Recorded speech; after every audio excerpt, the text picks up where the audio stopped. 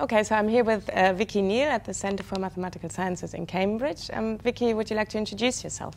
Yeah, hello, I'm Vicky Neale. I'm the Whitehead Lecturer at the Mathematical Institute and Balliol College at the University of Oxford. So my job is teaching undergraduates and getting involved in outreach, public engagement with maths, those kinds of things. Mm -hmm.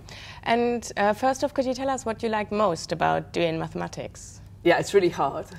um, I really like the challenge, whether that's trying to solve a difficult problem, whether it's understanding some difficult concepts, um, the harder it is, the better the buzz of satisfaction when you have solved it, when you've connected the ideas, you've understood it, you've had an idea to solve a problem. Um, that's fantastic feeling. Mm. So even if it's hard and some people might be scared of it, it's really, really worth sticking to it. Then yeah, definitely. I mean, some problems, some problems are too hard for me to be able to solve with my current level of knowledge or something. But a problem that I think I might have a reasonable chance to attack it is definitely worth persisting, persevering, because. Yeah the payoff when it works out is great, and sometimes it doesn't work, and well, never mind. Mm, doesn't okay. matter. So, could you tell us one or two of your favorite mathematical moments? Yeah, so I have a really clear memory of something that happened when I was a sixth former, when I was doing my A levels. And I remember suddenly realizing that I could try to answer a problem in two ways. And I just had this moment of kind of terror of what if they give different answers? I mean, sort of hope they wouldn't, but, but, but I've got these two ways of thinking about this thing, and I just kind of had to grab a pencil and paper right then and just spend a couple of minutes kind of checking that they gave the same answer. And what was so amazing about that was that I suddenly understood how these two different ways linked up, like that kind of connection between them. And that memory has really stuck with me, um, much more than it would have done if somebody had explained to me, you can do this problem in these two ways. That kind of realization I could piece, the, piece it together for myself was amazing. Mm-hmm. Okay. Um, so I guess another um, quite strong memory I have that for me kind of captures the, the experience I might have of solving a problem was when I was working on a problem um, I was going to be teaching. Um, so third year graph theory problem. Um, maybe I won't go into the, mm. the, the, details of the problem right now. Um, and it was the kind of problem where it says, is it always true that whatever? Um, so either I was going to have to give a reason, like a proof, an explanation of why it's always true that this thing happens, or I was going to have to kind of construct an example, call it a counterexample, that shows that sometimes it doesn't happen, because look, here is an example where it doesn't mm. happen. And the question didn't tell me which of those I was going to have to do, so it's kind of, well, I've, I've got to try it. And it really wasn't obvious whether this thing was always going to be true or not. So I spent quite a long time, maybe an hour or two, um, thinking about why it should be true, trying to prove it, trying to give this explanation of why it was always true. And I just had this unbelievably beautiful idea. It's kind of related to something else on the problem sheet. I thought, this is it, this is it. I've got this solution. And I did some scribbling and it all worked out and it was great. And I thought, well, I'll just write it out carefully and make sure I've got the details right. And it suddenly hit me that the argument was wrong. It's kind of, oh, yeah, it was so mm-hmm. disappointing.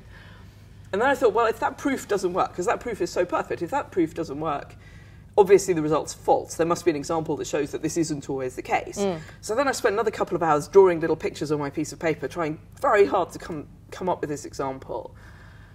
And I really couldn't find an example. And then I got very kind of frustrated and, you know, wandered around the house a bit, kind mm. of being cross and, oh, what am I going to do about this? I thought, well, I'll go back to that original attempt at a proof because the idea was so lovely. I just mm. didn't want to give up on it. I think, well, why exactly doesn't it work? What goes wrong? And when I looked at the argument really carefully, this is a really good thing to do when you're doing maths. Kind of why doesn't the argument work for this problem? And when I realised really precisely, when I pinpointed what the problem was, I realised how I could fix the argument. So it was always true. The beautiful proof became even more beautiful when I sort of found a way to make it correct. But mm.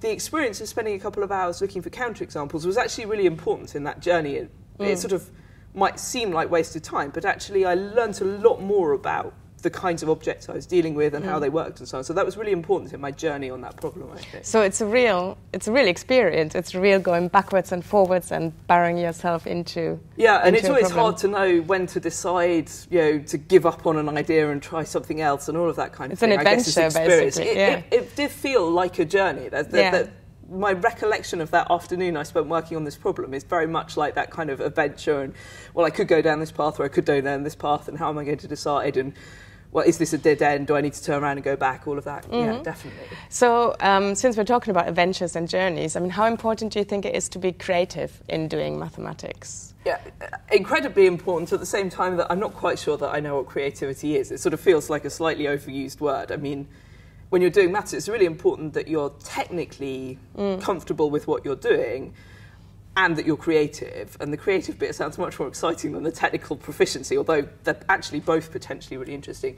But for me, creativity is incredibly important, and that comes in different ways. So that might be generating lots of ideas. So, like when you're working on a problem and you look at this thing, I've got no idea how to start, and then you sort of play around, and then you start to have a few ideas. And you have to have this kind of fearlessness, I think. So, you sort of have these ideas, and sometimes you sort of in order to really get engaged with the problem, you have to be incredible, sometimes really brave because 99% of these ideas won't work out.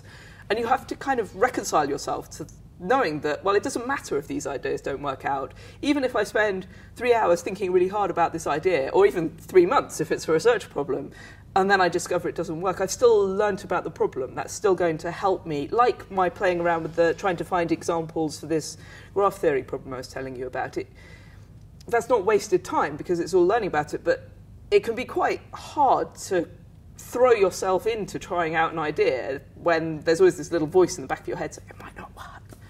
Um, but also making connections. I think that could be a really creative activity in maths, kind of finding similarities in two seemingly different situations and then unpicking, well, what, what is that connection between them? Or two different ways to answer the same problem, like I was mentioning earlier, and why are those two ways related?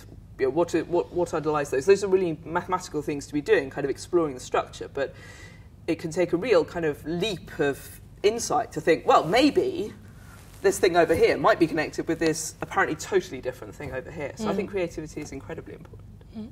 Oh, thank you very much.